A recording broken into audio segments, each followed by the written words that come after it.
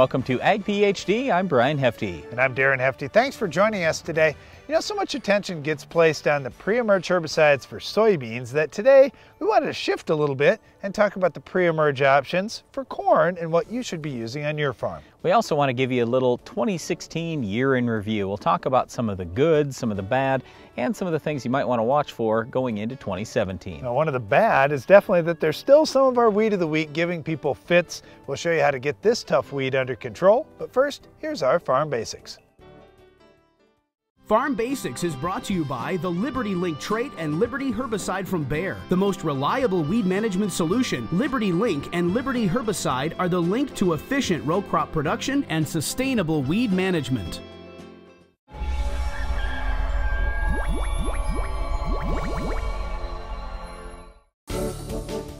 During our Farm Basics time today, we're going to talk a little about soil life.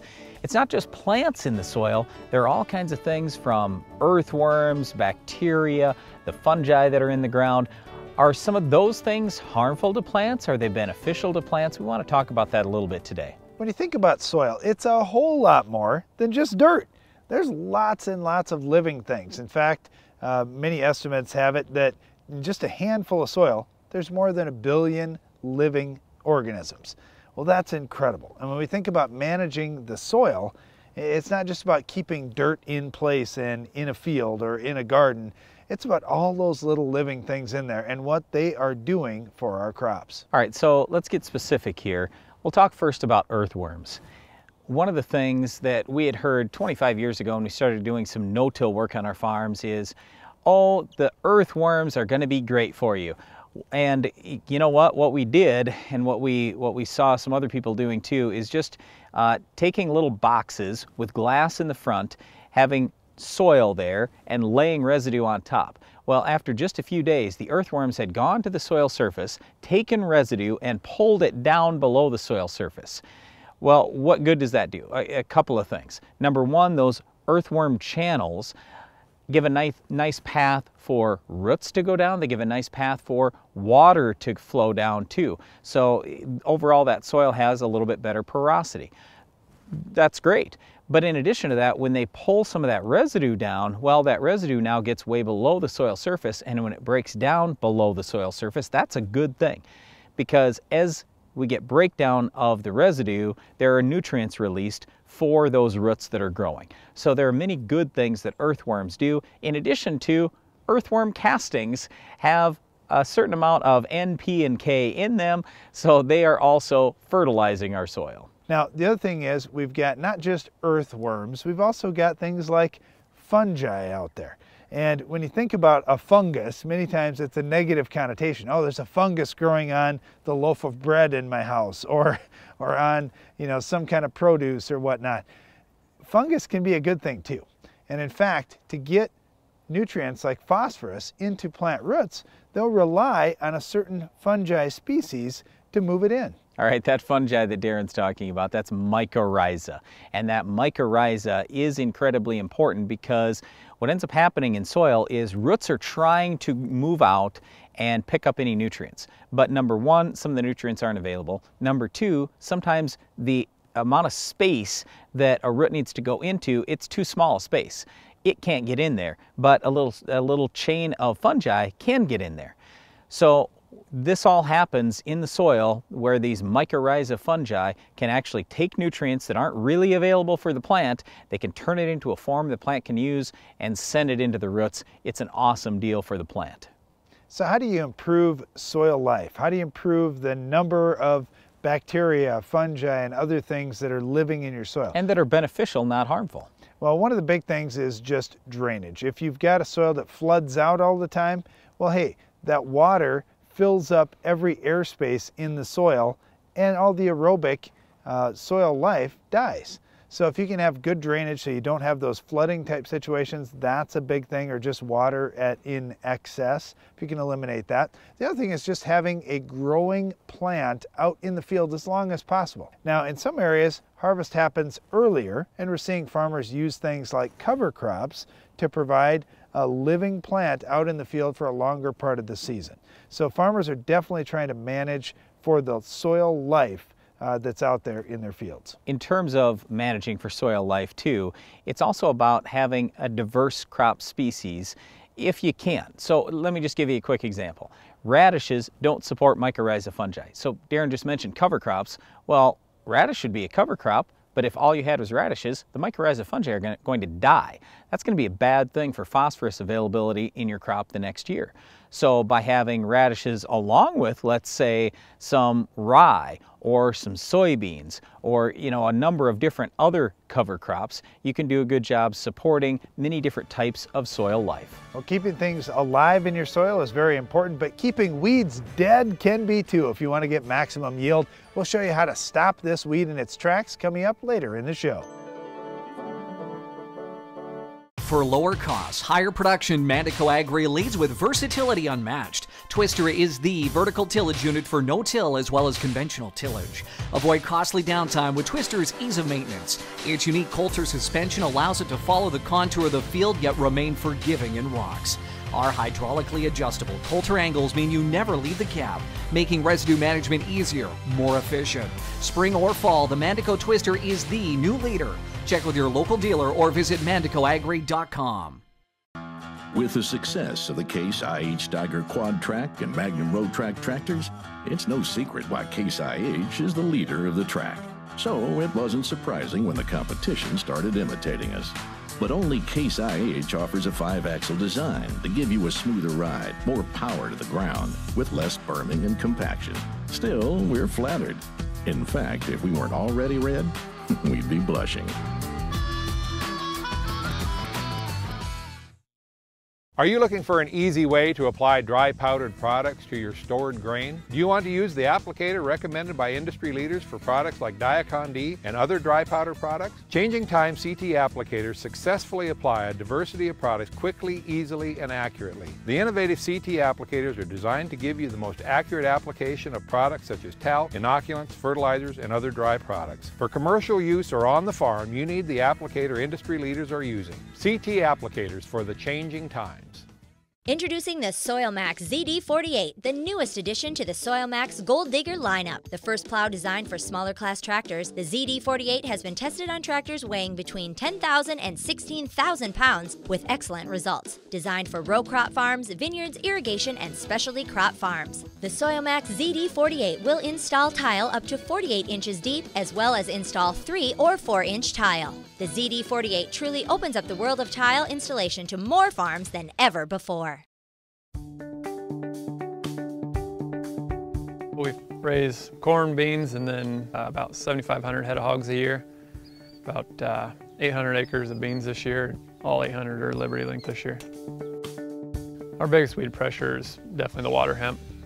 That's why we switched to Liberty Link. We were Roundup ready and uh, we had some resistance. I got sprayed three times one year that didn't even come close to killing them. So the next year we switched Liberty Link thinking we'd switch back and forth every year and Liberty Link performed so well we never switched back.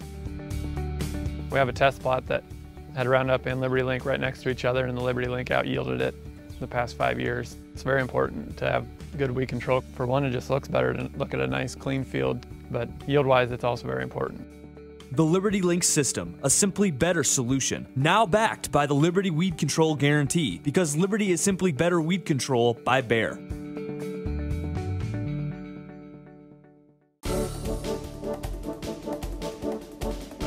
When I first became a full-time agronomist, we had two choices for corn pre-emerge herbicides, dual or Eradicane. That was pretty much it. Today, it feels to me like we have a million choices out there.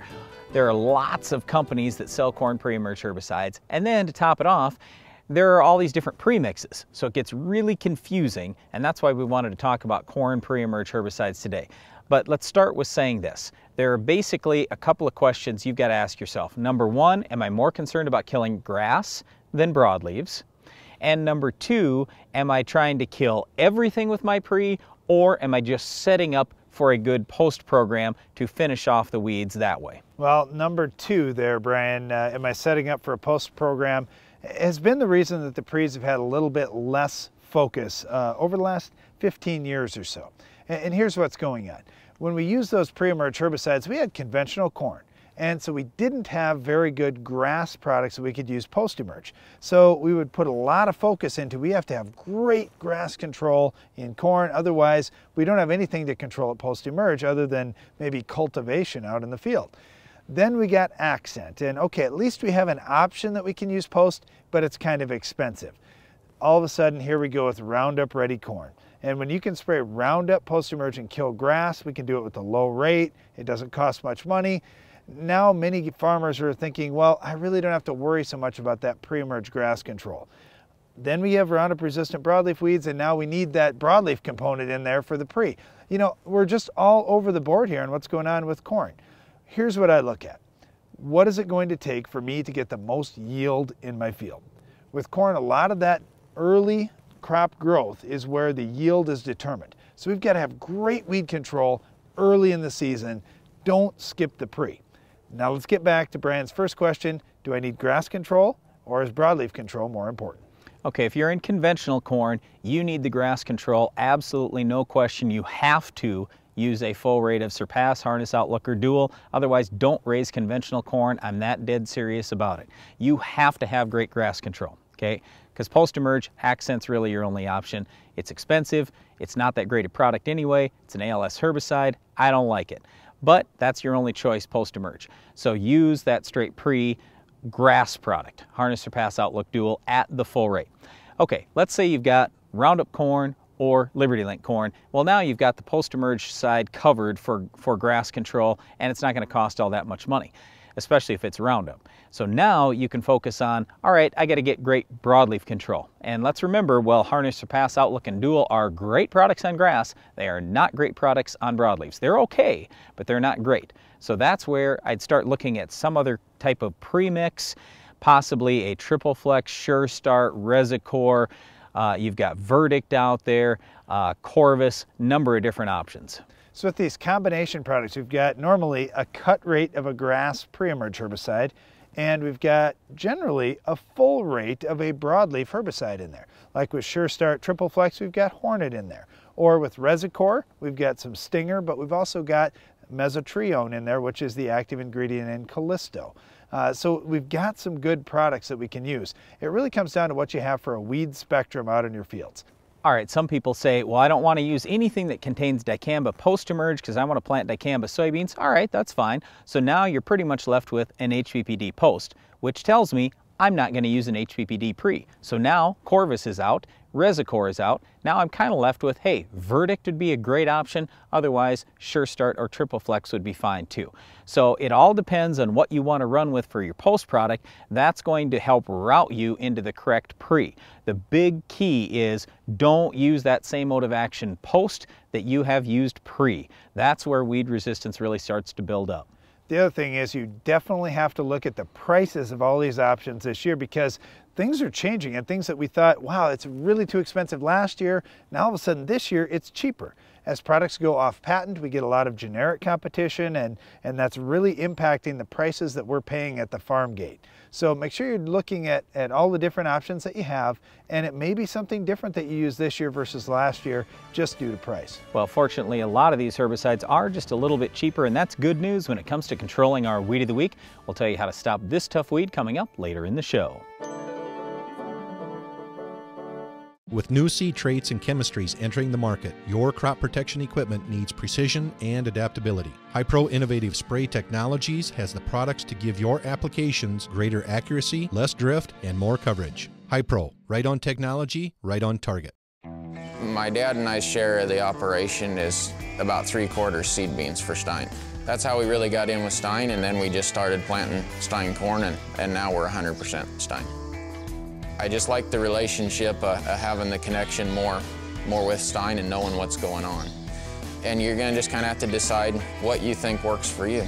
And Stine's worked real well for us, real well. I choose Stine because Stine has yield. Sometimes getting the yield you want means you need a whole new game plan. Think about it. When the older conventional fertilizer you've been using goes head to head with tough soil conditions, they can get all tied up before they ever have a chance to score. That's when it's time to regroup. Time to send in the A-Team. AgroLiquid isn't like other fertilizers. Their nutrient-balanced products stay in the soil in the right formulations in just the right amounts.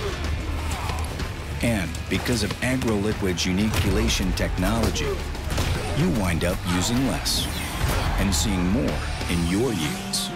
So you could wind up having one heck of a championship season. Make a smart start with AgroLiquid. To find the closest nutrient coach near you, visit agroliquid.com. love the fact that we get very little grain loss from the head. Other brands, other corn heads, we've seen that um, up to three, four bushel per acre in some instances where we have some dry corn. We're growing as much corn as we can. We don't want to be leaving this out in the field at harvest time. So the fellow's done a nice job of making sure we're capturing almost every kernel that we can. So yes, I would recommend the fellow head to other farmers.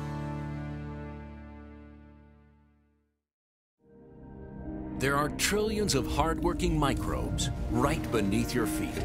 Today, Monsanto BioAg is harnessing the power of microbes, creating microscopic farmhands that help plants access nutrients, enhance root and shoot growth, and handle stressful conditions throughout the season, protecting and maximizing your yield potential.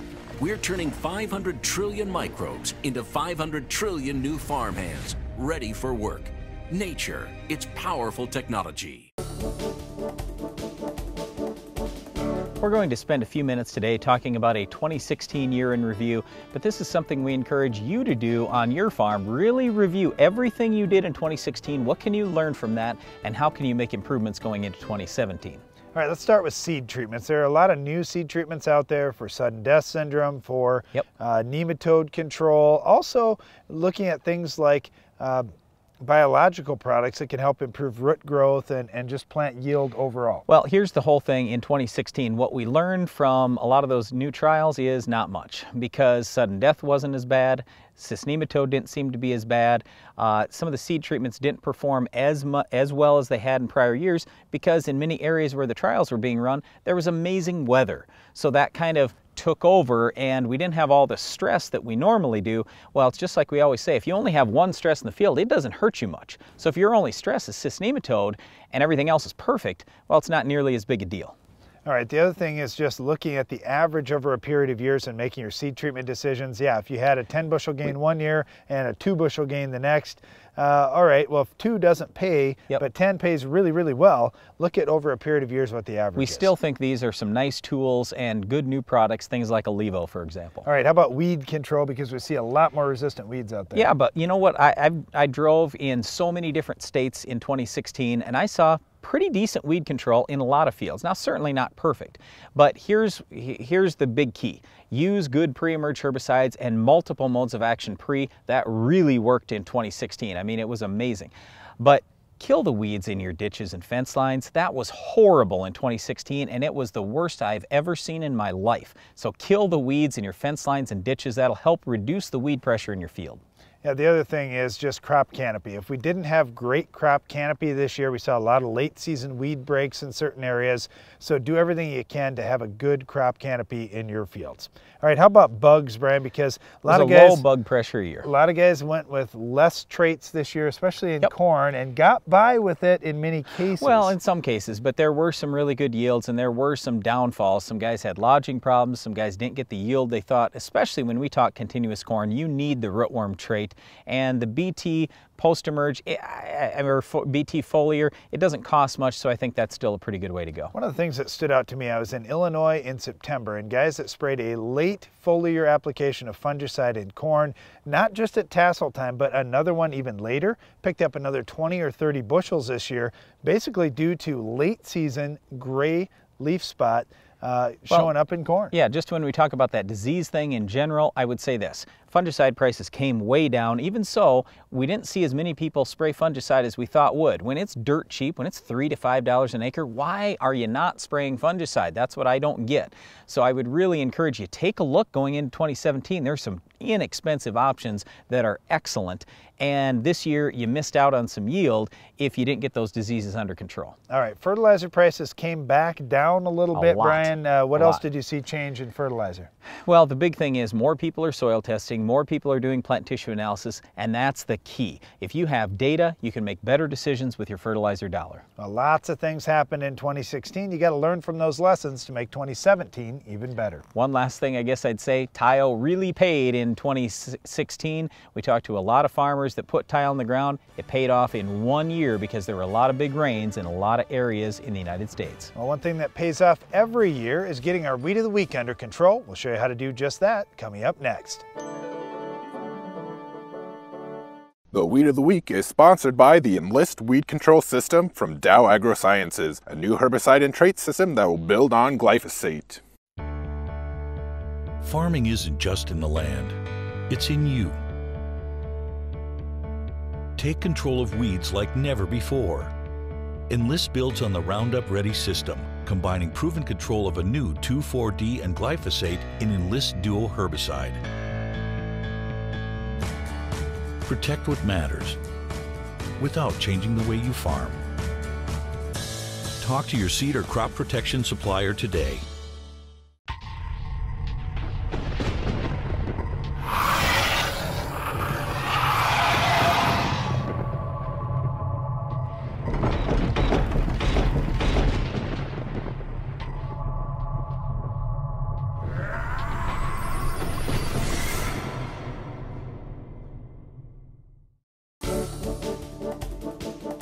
Our weed of the week is shattercane. It's funny, I just had a farmer I was talking to the other day that was all concerned about shattercane uh, for some of his neighbors. And I said, hey, I'm not too worried about shattercane anymore. We have so many great ways to control this. Where this was really a problem was 25, 30 years ago before Accent came out, before Beacon came out. Well, in corn, in a grass crop, it's difficult to take a grass out of there like shattercane. So it was awesome having Accent and Beacon post-emerge. But today we've got Roundup, we've got Liberty, we have so many choices. Well, one of the big things about this weed is it oftentimes comes up late. We- We look at it as a summer annual weed. So when you've got things that pop up later in the season, those pre's oftentimes have run out of gas by that point. So we have to rely on those post-emerge options. Yeah, the pre's were never that great anyway. I mean, you look at dual, harness, surpass, outlook, those would be the best things in corn, but they're suppression only. That's it. So that's why you, I mean, don't get me wrong, we'd still like to have those down, but you, you want to get good control post emerge. The key here is spray when the shatter cane is small. If you're trying to kill six inch tall, 12 inch tall shatter cane, it's going to be a lot more difficult than if that shatter cane is two, or, two to four inches. All right, now in soybeans, the pre's are pretty effective. Things like Treflan and Sonalan do a nice job. and Prowl. Uh, any, any of those are just fine. That's what we would recommend. Then post-emerge, Roundup's great. Uh, otherwise, Liberty is excellent. And then, of course, you have choices like Clethodim, Select Max, Assure, uh, lots of different options there for grass control in soybeans, but soybeans are a broadleaf crop. Now in wheat, uh, that wheat is seeded so much earlier than when the shatter cane's emerging. We can get a good canopy and choke it out. If you do have some, a lot of times Axial can pick it up.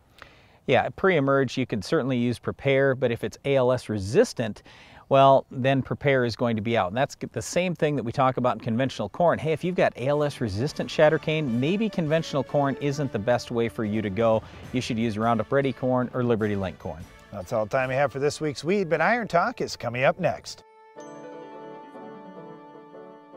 Compaction created during planting leaves thousands of dollars of potential yield in your fields. Copperhead Ag has developed the Furrow Cruiser spiked closing wheel to close the seed trench more effectively. With a unique combination of closing power and control, the Furrow Cruiser provides earlier, more even emergence and higher stand counts, returning yield potential and putting profit back in your pocket. For more information on why you should never run a traditional closing system again, visit copperheadag.com. Looking for a solution that will grow your returns on every acre? Farmer's Edge offers the most complete package, including hardware, software, variable rate technology services, soil sampling, and unbeatable support, all for only $3.95 an acre. Grow more precisely with Farmer's Edge. To get a special offer from Farmer's Edge, visit growyourreturns.com. That's growyourreturns.com. Grow your returns for only $3.95 an acre with Farmer's Edge. Can you afford not to? Side dressing nitrogen? Applying nitrogen over the row boosts nitrogen uptake and efficiency. 360 Y-Drop places nitrogen at the base of the plant, not like Coulter systems that put it down the center of the row. With Y-Drop, a small amount of moisture moves nitrogen into the root zone for rapid uptake. Getting more bushels out of your nitrogen investment is important. 360 Y-Drop lets you apply nitrogen later in the season so you know exactly how much N is needed to finish the crop strong. Learn more at 360yieldcenter.com. I would recommend Morton for many reasons, but one is that they have a long history of standing behind their buildings. Our sales experience with Morton was a nice experience. You know, they told us what it was going to cost, what it was going to be, you know, how it was going to run, and uh, it worked out really well for us. Morton has built me one heck of a nice building, and it should stand for a very, very long time. I was very happy with the workmanship. Check us out online at mortonbuildings.com. Introducing the SoilMax ZD48, the newest addition to the SoilMax Gold Digger lineup. The first plow designed for smaller class tractors, the ZD48 has been tested on tractors weighing between 10,000 and 16,000 pounds with excellent results. Designed for row crop farms, vineyards, irrigation, and specialty crop farms. The SoilMax ZD48 will install tile up to 48 inches deep as well as install 3 or 4 inch tile. The ZD48 truly opens up the world of tile installation to more farms than ever before. Farmer's attention to detail is what makes the difference. You take the time for service management because you know how vital it is to your operation. You service your field like everything else because soil sampling makes all the difference and gets the results you want. Download the app Soil Test Pro and start grid sampling today. Keep your farm growing strong. The more you test, the more you know. Iron Talk is brought to you by Case IH. The AFS Connect Farm Management System from Case IH connects you and only you to the information you need most from your equipment from anywhere at any time. AFS Connect only from Case IH.